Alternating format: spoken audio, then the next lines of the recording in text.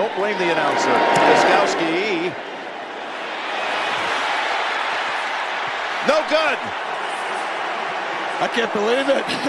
Go 31 for 31 and tell the world. Was that one of your predictions? No, that's not.